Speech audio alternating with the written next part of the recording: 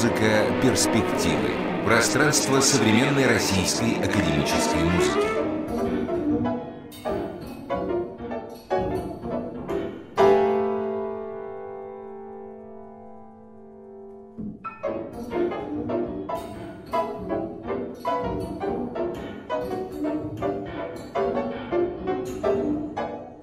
Добрый вечер. У микрофона Антон Дубин. Сегодняшняя наша гостья – композитор Ольга Бачихина, доцент кафедры композиции и кафедры современной музыки Московской консерватории. Ольга, рад вас приветствовать здесь. Добрый вечер, Антон. Мне очень приятно. Как вы считаете, существуют ли сегодня некие законы, по которым должен существовать современный композитор, чтобы не выпасть из актуального пространства? То есть чувствуете ли вы стилистически такую некоторую среднюю температуру по больнице современной академической музыки. И как быть композитором, которые не хотят вписываться в эти готовые схемы, но и одновременно маргиналами тоже не собираются становиться. Первое, что мне бросается на слух, слово «закон», и то, что композитор как бы вписывается в закон. Изначально, когда композитор приходит обучаться, у него есть достаточно много курсов, которые предписывают ему правила или определенного рода настрой, внутри которого он существует. Эти правила могут работать для музыкальной формы, для музыкальной композиции. Да, они такие жесткие достаточно. Иначе мы называем это форма кристалл или структура, внутри которой ты существуешь. И это вопрос закона. То есть, если композитор входит в структуру, он неизбежно столкнется рано или поздно с тем, что как молодое вино, оно должно эту структуру сломать. Как стены, которые необходимо разрушить, чтобы обрести свободу. При этом хорошо действительно, когда композитор умеет и учится дисциплинировать себя внутри каких-то рамок. И Стравинский об этом говорил, что свобода возможна только там, где возможны эти самые рамки. То есть, где есть есть пределы или где есть ограничения. Сначала себя нужно ограничить, и потом делай там, что хочешь. Вторая сторона этого хода заключается в том, что это вопрос, кто создает эти законы. То есть изначально мы подразумеваем, что законы — это то, что творится по ходу творения внутри самого композитора. И, конечно, когда он начинает входить в свою вселенную и осваивать ее, смотреть, есть там стены, нет там стен.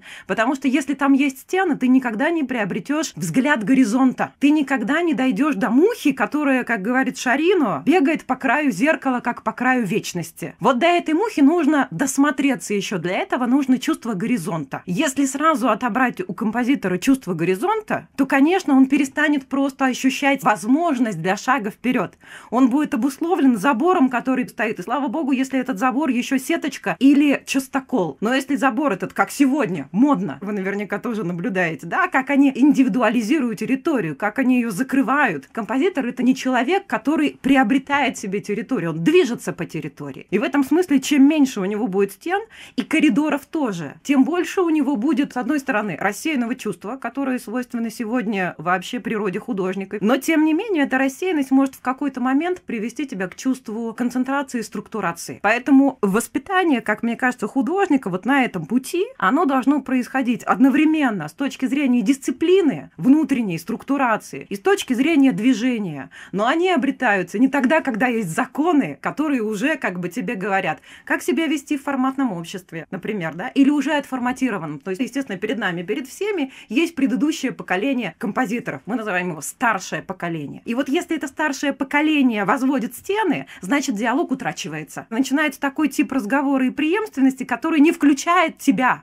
который подразумевает только его. А вы ощущаете сейчас некоторые такие усредненные черты черты современной музыки, что композиторы в какой-то своей массе следуют каким-то вот именно усредненным моделям? Мне кажется, всегда есть всякие композиторы. Как говорил Бродский, природа заботится о том, чтобы в ней было как можно больше разнообразия. А культура, она выбирает одного. Поэтому, когда мы учимся, мы все находимся в поле разнообразия. Естественно, есть композиторы, которые предпочитают работать в форматах, да, и они сразу определены там структурой мюзикла, структурой классического классической музыки, структурой романтической музыки. Я с этим очень часто сталкиваюсь, и человек, как правило, даже не чувствует внутреннего конфликта, потому что музыка как бы ему не принадлежит, у него в себя ее еще не принял. Отсюда очень многие композиторы спокойно совершенно относятся к форматам, потому что музыка для них это как бутылочка, вынесенная в пространство. Хорошо, тогда я еще перефразирую. Какой должна быть сегодняшняя современная академическая музыка, чтобы она гарантированно исполнялась? Тоже сложный вопрос, потому что я бы шла не от долженствования, а от некоторой среды возможностей, среды обещания, да, как бы некоторого будущего.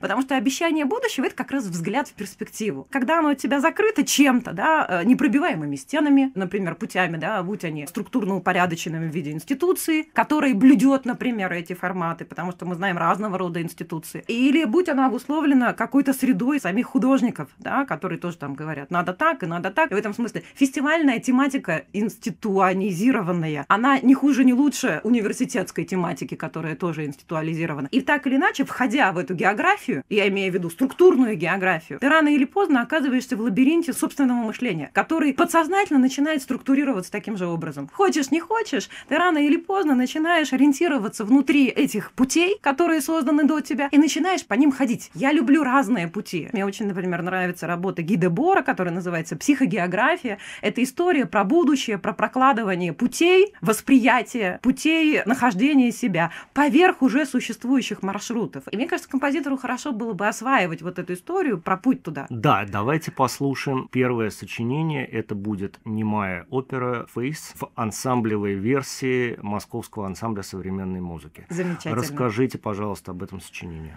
Во-первых, это сочинение, когда я писала, когда стала мамой. Это очень важный момент, да, то есть это путь какого-то рождения одновременно, инициации и совершенно другого существования, поверх каких-то маршрутов. На самом деле, может быть, это одна из немногих точек внутри моей, например, жизни, которая открыла для меня путь художника. Не напрямую, да, а каким-то образом опосредованно. Поэтому «Фейс», она называется «немая опера», и слово «немой» — это попытка выговорить себя теми способами, которые не связаны с прямым высказыванием. Это, с одной стороны, попытка говорить не прямо, с другой стороны, попытка говорить так, как говорят немые люди, то есть жестами, визуальным языком, существованием в какой-то иной среде и переживанием этой среды как музыкальную, попыткой перенести музыкальную вообще вот эту вселенную на другую территорию, двинуть ее, например, на территорию немого языка. А что за текст, который вы произносите? Текст, который конкретно я там произношу, он, по-моему, только один, потому что в немой опере несколько текстов, ну и, как полагается, немой опере, они не произносятся. Они как бы существуют внутри моей головы, и они связаны с э, двумя очень важными для меня там сценами и героями. Первая сцена — это голос, и они как бы существуют в амбивалентном поле. Это история про речь и история про писание как таковое, как писание, связанное с творческим созиданием. Писание как процесс, а не писание как фиксация. Да, мы будем слушать сейчас как раз историю про письмо,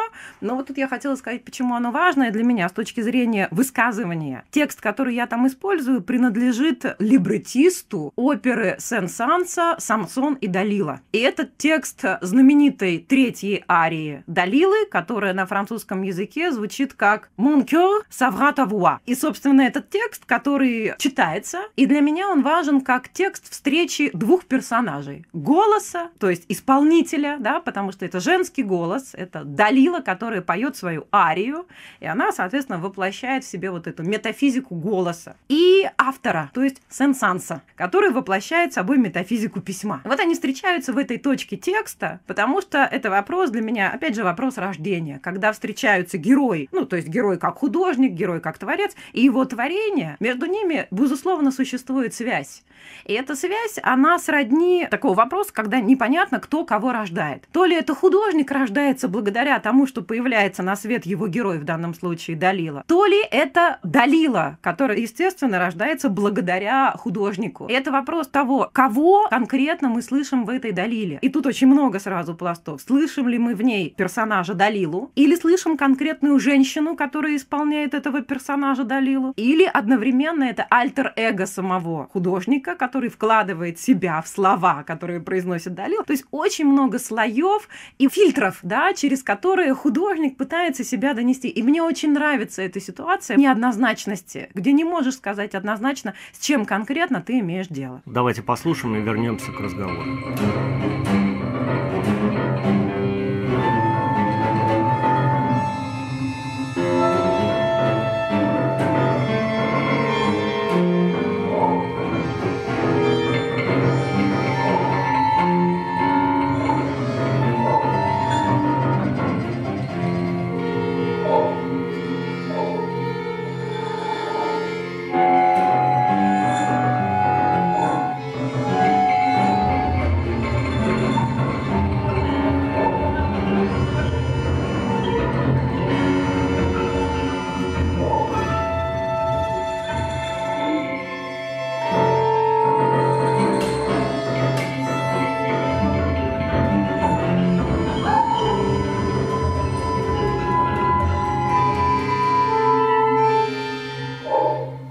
Гостях Ольга Бачихина. Вы как-то сказали, что музыке нужно переставать быть автономной территорией. Это часть некоего общего художественного процесса, большого процесса. Но я слышу во многих ваших вещах как раз-таки, они мне кажутся такими вещами в себе, тотально музыкальными. Вот как это в вашей голове сосуществует? Когда я начала работать над своим дипломным сочинением, оно называется «Симфонический пролог к театральному представлению Невский проспект». Когда я над ним работала, оно называлось «Сад ветвящихся дорожек» или «Тропинок». Это знаменитая новелла Борхеса. Тропок. Расходящихся тропок тоже, да. Развивающихся дорожек еще. И когда я зашла на территорию Борхеса, а вышла я на территории Гоголя. Так вот получилось случайно, потому что был объявлен конкурс в Мариинском театре, на котором была объявлена тема касательно Гоголя.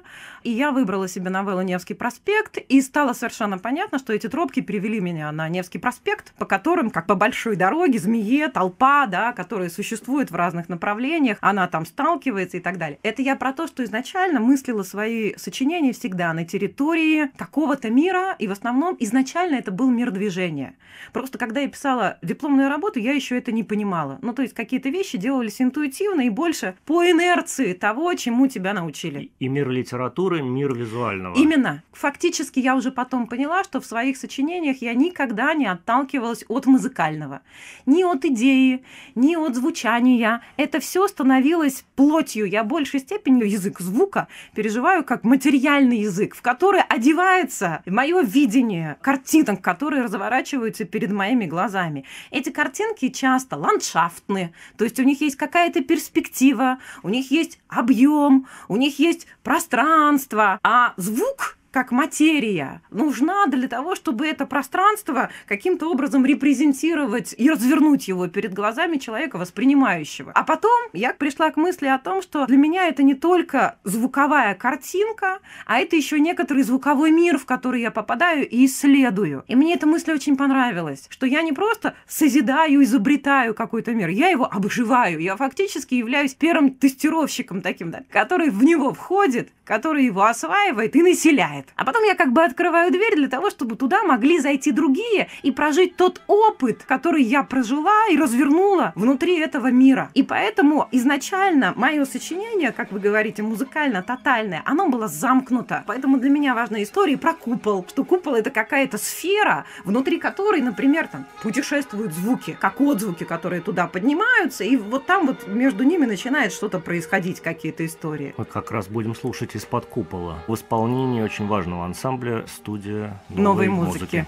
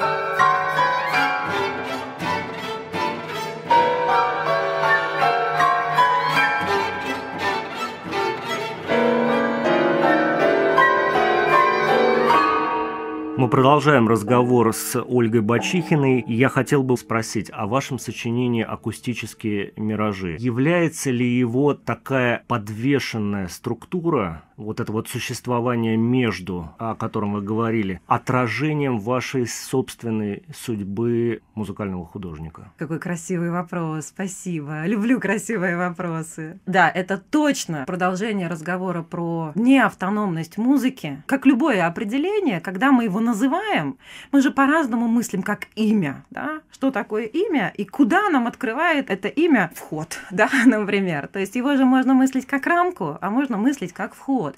Можно мыслить как территорию, можно мыслить как, как бы в зависимости да, от э, начала, от точки начала. И музыка как слово, это имеет напрямую отношение к моему переживанию миражей. Музыка как слово тоже может стать подобного рода инструментом внутри твоего существования вообще в мире. Ну, потому что в любом случае ты так или иначе, рано или поздно, начинаешь соотносить себя с тем миром, который вокруг тебя спроецирован другими. И начинаешь нащупывать свое ощущение в нем как собственную проекцию. Отсюда тоже разговор про форматы. Мир это не просто отражение, да? Мир это уже что-то спроектированное, сархитектурированное теми, кто был здесь до меня. Поэтому я изначально попадаю в историю. Я как-то беседовала со своим учителем, профессором из Базеля, Якобом Ульманом. Он тоже сказал очень важную мысль, что я живу в городе, каждый камень которого связан с историей. Это город не Гамбург, в том числе город, где Ницше творил. И это очень важно, пропитанность истории камня, с которым ты как бы сосуществуешь. И важно в этом камне открыть историю. Если ты умеешь открыть его, да, тогда ты получаешь разговор с этой историей. С музыкой то же самое. Для меня как-то был вот этот вопрос существенный. Вот когда я, например, музыку пишу, я композитор, да, а когда я ем, я композитор или я кто? Я перестаю в этот момент быть композитором или не перестаю? А когда я в метро еду? А когда я машину веду? В этом смысле перестаю быть композитором, и я только вынуждена ставить себе границы того, что композитор я только тогда, когда сижу за столом. А я не сижу за столом, я вообще могу музыку в ванной писать. Это очень какой-то важный момент, в каких отношениях ты вообще с музыкой и в мире, да? И в этом смысле композиторство примерно про то же самое. Поэтому мне достаточно легко выскальзывать из ситуации, что она, конечно, не автономная для меня. Может быть, мы послушаем, как корабль плывет завершим наш разговор этим сочинением. Расскажите, пожалуйста, там очень интересный состав, контрабас и два сопрано. Вот конкретно у этой истории есть референс визуальный, знаменитая сцена из фильма Федерико Феллини «И корабль плывет». И мне важно было вот эту вот частичку «и» немножечко поменять, потому что для меня корабль, ну это понятно, это внятный совершенно образ. Сочинение я это писала на юбилей консерватории 150 лет. И у вас там многоточие, и после него запятая. Да, да. У него тоже есть референс, многоточием начинает и за заканчивает свой роман «Цитадель» Антуан де Сент-Экзюпери. И для меня это многоточие важно. Это же вход. Это не вход такой серии, вот я рарам, и... а это все вход всегда в процессе. То есть ты не можешь войти в сочинение, начать как бы его, ты его все время продолжаешь. Вот сколько ты пишешь, ты, в общем-то, продолжаешь одно и то же. Ты все время в пути, просто внутри этого существования дневникового, процессуального, есть какие-то артефакты, которые сохраняют за тобой след. То есть вот каждое сочинение — это некоторые запечатления. Это означает, что корабль — это запечатление с одной стороны, моих отношений с университетом, которым, безусловно, для меня является консерватория. Оно посвящено в этом смысле консерватории, конкретно Рахманиновскому залу. Потому что... И консерваторским людям. Григорий Кротенко и замечательные... Две вокалистки Екатерина... Екатерина Кичигина и Алена Верин-Галицкая. Угу. Да, совершенно верно. Так вот, Рахманиновский зал для меня и стал этим самым кораблем, ковчегом, в котором мы плывем. В котором, кстати говоря, были и ваши акустические миражи. Именно так. Для меня вообще история превращения, вот вы говорите между, да, я намекаю намекаю на это между, что вот любое пространство, любой зал, тоже можно принюхаться к нему как к пространству, порталу, который открывает тебе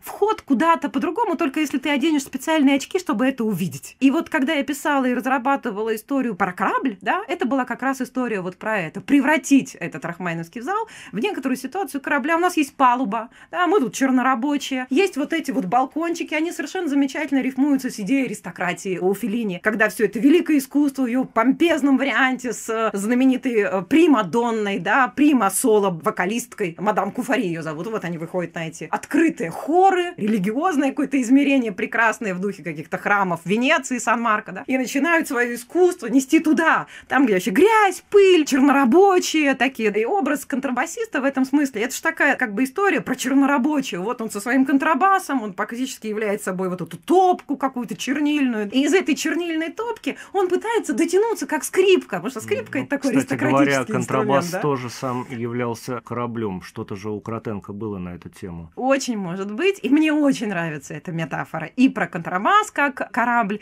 и про контрабас как этого рабочий чернорабочий инструмент. рабочий инструмент, совершенно верно, который хочет вот туда дотянуться, потому что вот они вокалистки, они там. Даже они... по весу туда не попадет. Никак. Он только прикидывается, да. что он скрипка, играет он там флажелетами, естественно, и он как бы все время тянется туда. Ну, это мое ощущение тоже. Ты в себе настраиваешь эти струны и по ним флажелетами пытаешься играть. И, естественно, этими флажелетами ты устремляешься наверх. Поэтому это история про этажи. Оттуда и в небо. Я благодарю вас за этот разговор. Между нашими повседневными Между. жизнями мы как бы встретились, поговорили. Спасибо вам большое. Это точно. Благодарю, очень приятно. Спасибо.